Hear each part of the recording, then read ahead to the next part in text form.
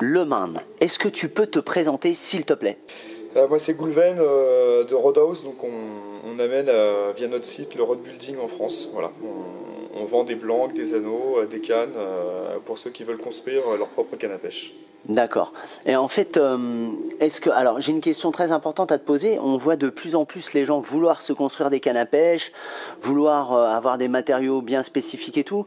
Est-ce que construire une canne à pêche aujourd'hui, c'est facile ou difficile? Construire une canne à pêche, c'est super facile. C'est euh, en gros, c'est une dizaine d'heures, une dizaine d'heures de travail. C'est-à-dire que c'est deux fois 5 heures.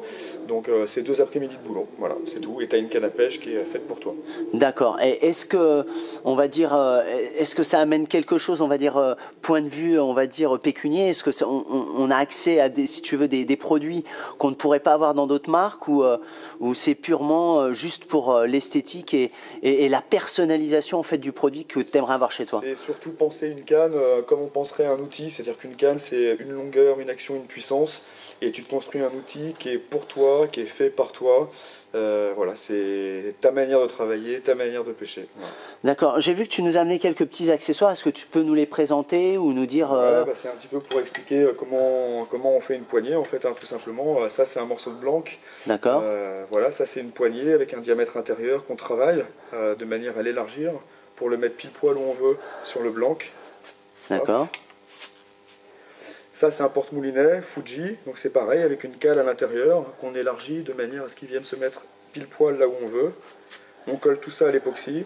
Voilà, ça c'est les éléments euh, tout simples pour faire euh, une poignée. Donc là, la poignée elle est faite, il n'y a plus qu'à coller. Après, euh, les anneaux, etc., on explique sur le site comment faire des ligatures, comment faire des vernis.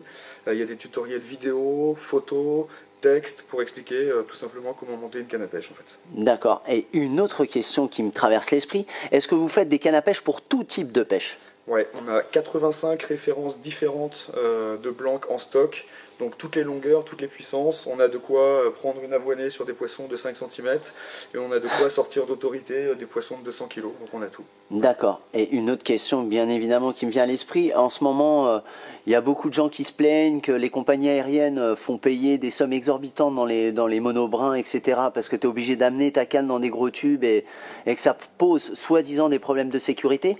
Est-ce que tu as remarqué un essor par rapport aux, aux constructions de cannes à, à multibrins?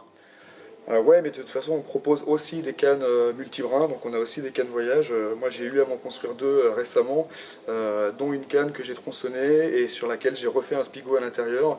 Le cahier des charges, c'était Air Caraïbes, donc c'était ma canne Air Caraïbes. Tout est possible. D'accord. Et une question donc qui coule de source, c'est est-ce qu'une canne monobrin est meilleure qu'une canne multibrin Ouais, ouais, à 80%, ouais. C'est-à-dire que c'est plus costaud, c'est plus résonnant, c'est plus sensible, l'action est préservée. Généralement, quand on a goûté au monobrin, euh, on revient pas en arrière, sachant que nous, 2,43, 8 pieds, c'est validé dans une Twingo. Donc si vous avez plus grand qu'une Twingo, ça passe. Génial. Et question de bêta, mais que tous les gens doivent se poser, même moi d'ailleurs, même tout le monde.